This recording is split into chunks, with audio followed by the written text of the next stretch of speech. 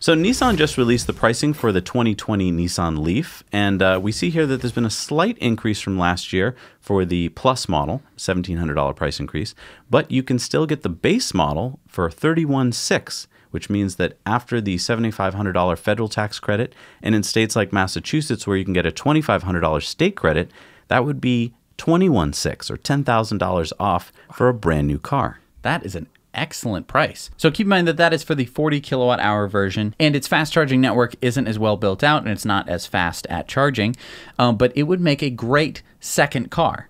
Because I, I, think for someone who just needs to commute back and forth to work every day, that's there's still enough range in there to you know oh I need to stop at the grocery store and then go pick up Stacy from her ballet recital. What, what's the first car?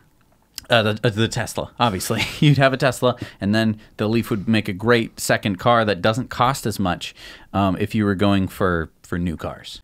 Thank you so much for watching. We're all about making the world better here on Now You Know. Everything EV, solar, batteries, technology, Tesla, and more. If that's something you're interested in too, check out our Now You Know channel content like Tesla Time News every Monday and In Depth every Friday. Now you know.